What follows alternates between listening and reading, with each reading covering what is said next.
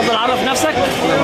اتفضل عرف نفسك. محمد مسلفك منين يا محمد؟ من طنطا وانت؟ أحمد العوض من وسط. آه عايزين تقولوا إيه النهارده؟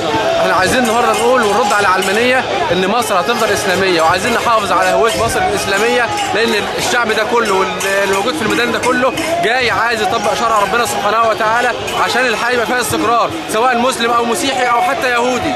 اي أي ديانة موجودة تحت شعار إسلامي هتبقى عايشة في أمان واستقرار آه وده إحنا بنرفض العلمانية تماما وبنرفض بعد بعد الدين عن الس- السياسة أو الدولة لا الدين هو الحاكم وربنا هو الحاكم وسنة النبي صلى الله عليه وسلم هي الحاكمه في هذه الحياة. يعني أنت عايز تطمئن أي فئة من فئات الشعب المصري اللي ما فيش فيها أي مشكلة في التعايش السلمي بالظبط كده.